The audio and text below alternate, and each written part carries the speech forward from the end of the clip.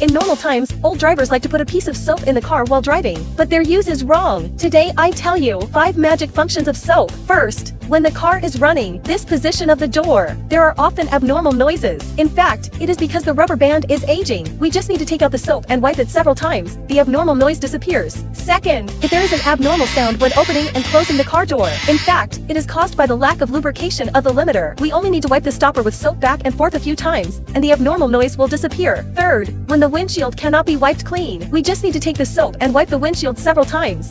The glass will be scraped clean. Fourth, when it rains, it is very easy to get water drops on the rearview mirror. It is very dangerous to affect the line of sight while driving. We just need to take the soap and apply it evenly on the lens. There will be no more water drops on the rearview mirror. Finally, if your car's water pipes are leaking, let's take out the soap and spread it evenly so that the sand holes can be blocked to prevent leakage. You have learned. Follow the sister and go to the homepage to learn more about cars.